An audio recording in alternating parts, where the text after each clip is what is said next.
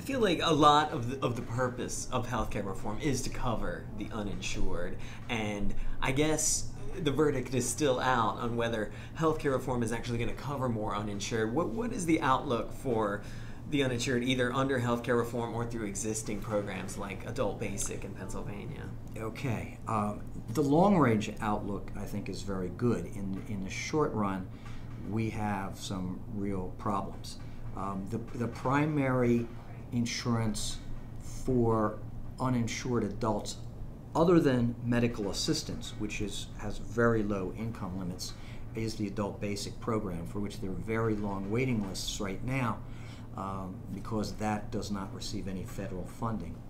Um, however, that program is at risk, as even though there's a lot of folks who can't get on it, for the thousands of adults who rely on that for their basic health care, it's at risk because a large portion of the funding comes from Blue Shield and the Blue Cross programs across the state. And the law that um, provided that funding from them is set to expire come July. So there is a, a real risk that that program might be deeply slashed uh, before federal health care reform can ramp up and provide the needed coverage for the uninsured. So we're real concerned about that.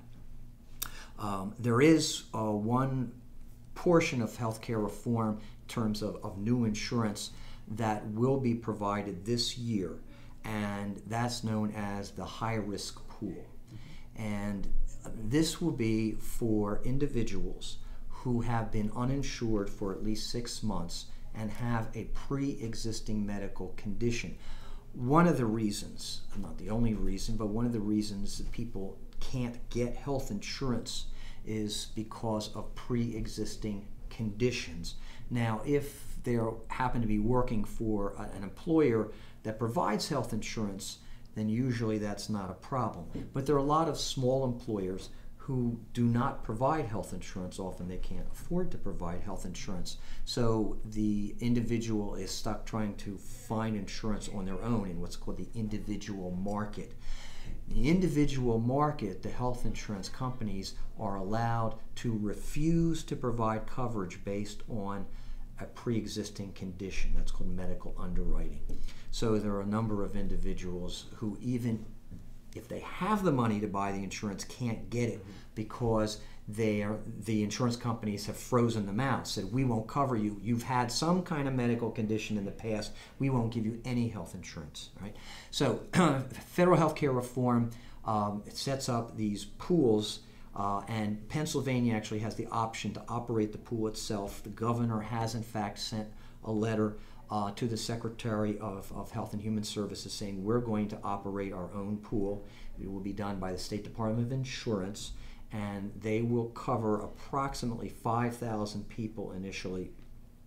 Again, these are people who they have to have been uninsured for six months and had some kind of pre-existing condition, and they will then be able to get insurance uh, through this state um, offered plan, or there may be multiple plans, but it'll be the state insurance department that administers it. Um, now, there will be a cost. This isn't free, but there will be some subsidies for lower income individuals to help them purchase um, this insurance.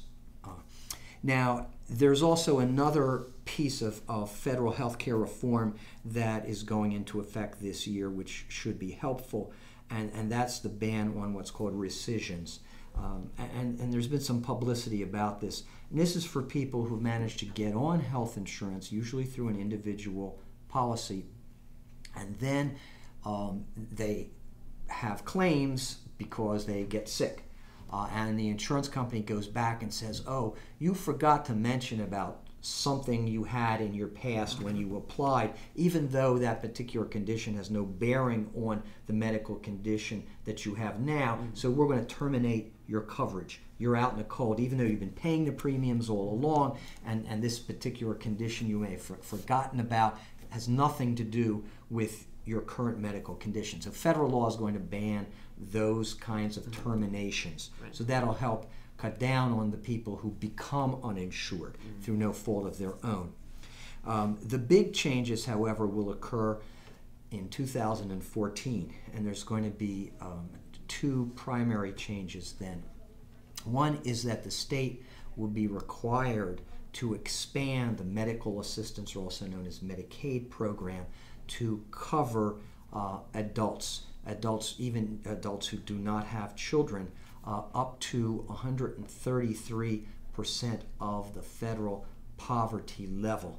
So that would mean uh, for a, uh, a, single individual right now, that would be roughly $1,200 a month mm-hmm. in earnings for a family of four. That'd be a little over um, $2,400 um, a month in earnings that they would, uh, now the adults would qualify. Um, and it's been very difficult for adults to get coverage under medical assistance because the income limits have been so very low and there's other kinds of requirements attached. Mm-hmm. So starting in in uh, 2014, they will now those low-income adults will be able to get the medical assistance, and and that's coverage regardless of any pre-existing conditions. Uh, and for adults that are ab- above that, there's going to be these. Um, these kind of conglomerates of health insurance called health insurance exchanges that the state will oversee, uh, where um, both uninsured adults and small businesses will be able to purchase and have guaranteed insurance through these exchanges. Um, and the exchanges will have to provide a certain level of coverage so that people will know exactly what it is they're getting.